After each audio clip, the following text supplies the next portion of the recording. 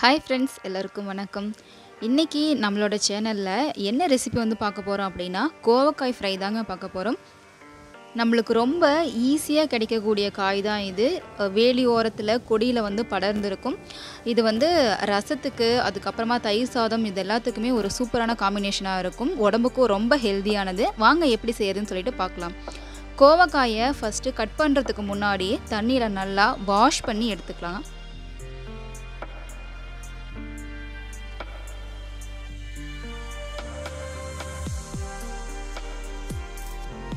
இப்போது இந்த காயை உங்களுக்கு தேவையான ஷேப்பில் வந்து கட் பண்ணிக்கோங்க.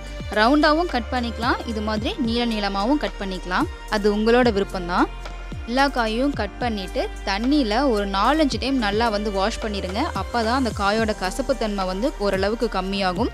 இப்போது பேன் வச்சுட்டு நல்லெண்ணெய் வந்து ஊற்றிக்கோங்க நல்லெண்ணெய் தேவையான அளவுக்கு ஊற்றிட்டு அது நல்லா காஞ்சதுக்கு அப்புறமா கடுகு போட்டு கடுகு பொரியட்டும். கடுகு பொரிஞ்சதுக்கு அப்புறமா ஒரு கை அளவுக்கு பச்சை கருவேப்பிலை வந்து சேர்த்திக்கோங்க. அதுவும் நல்லா பொரிஞ்சதுக்கு அப்புறமா ஒரு நாலஞ்சு வரமிளகாய் வந்து கிள்ளி போட்டுருங்க. இது ரெண்டும் நல்லா வந்து பொரியட்டும். அதுக்கப்புறமா நம்ம கட் பண்ணி வாஷ் பண்ணி வச்சுருக்கிற கோவக்காயை வந்து சேர்த்து எண்ணெயிலேயே நல்லா வந்து டீப் ஃப்ரை வந்து பண்ண போகிறோம்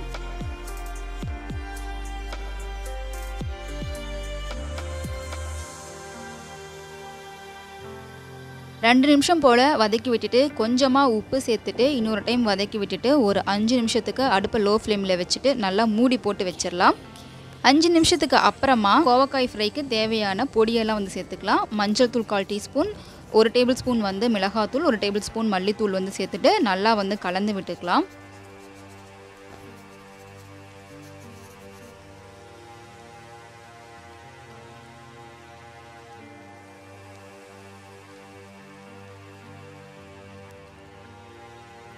அடுப்பை லோ ஃப்ளேம்லேயே வச்சுட்டு ஒரு கால் மணி நேரத்துக்கு நல்லா மூடி போட்டு வச்சுருங்க. காய் நல்லா சுருண்டு வதங்கி வரட்டும். கட் பண்ணுனா கட் பண்ணுற அளவுக்கு கட் ஆகிற அளவுக்கு நல்லா வதங்கி இருக்கணும். காய் அப்போ தான் சூப்பராக வெந்திருக்குன்னு அர்த்தம். இப்போ இதை எடுத்து ரசம் சாதத்துக்கோ தயிர் சாதத்துக்கோ வந்து சர்வ் பண்ணுங்கள் பிடிக்காதவங்க கூட ரொம்ப விரும்பி சாப்பிடுவாங்க. குழந்தைங்களுக்கு ரொம்ப நல்லதுங்க. கண்டிப்பாக அதை ட்ரை பண்ணி பார்த்துட்டு எப்படி இருக்குது அப்படின்னு சொல்லிட்டு கமெண்ட்ஸில் சொல்லுங்கள் வீடியோ பிடிச்சிருந்தா லைக் பண்ணுங்கள் ஷேர் பண்ணுங்கள் சப்ஸ்கிரைப் பண்ணுங்கள் தேங்க்ஸ் ஃபார் வாட்சிங்